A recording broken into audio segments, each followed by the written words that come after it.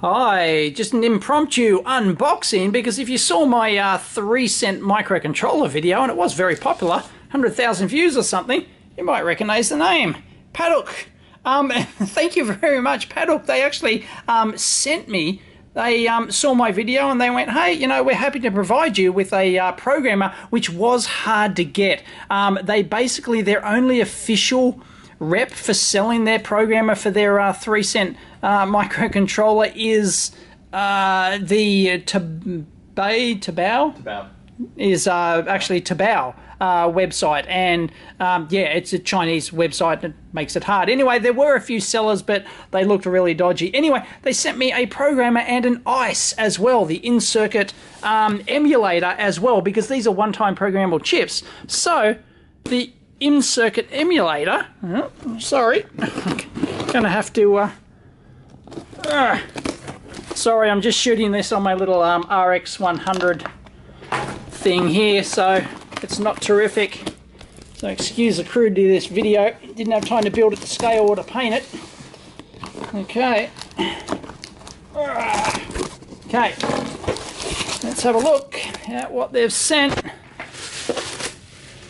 And Padauk. Anything else? Just a genuine uh, Taiwanese. Um, yeah, they're Taiwanese, aren't they? I think they're Taiwan. Yeah, I think they're a Taiwanese company. Um, yes, Taiwan. There we go. Padauk, Taiwan. So sorry, I'll just uh, do this again. Let's open this, see what we get. And yeah, because you need the in-circuit programmer because they're one-time programmable. So this looks like the uh, this looks like the programmer. Looks just like a bought one.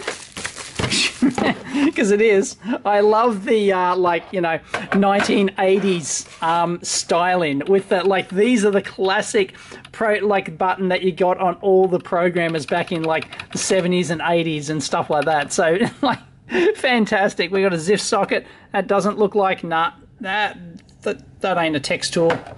Uh, you don't expect it. Anyway, it is quite pricey. It's like 100 US dollars or something for the programmer. So it's not exactly uh, not exactly cheap. We just got USB, 9 volt, on off. That's about all she wrote.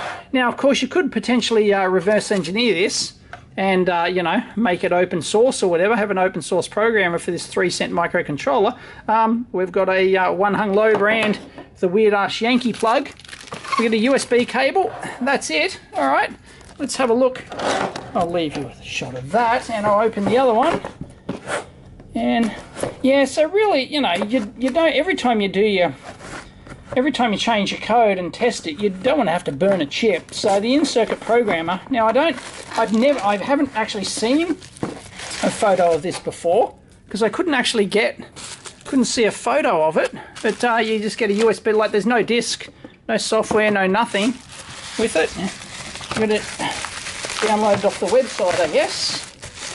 And here we go. Here's the in-circuit emulator. It's really, uh, you know, kind of uh, do-it-yourselfy, but actually, actually, you know, it's not bad.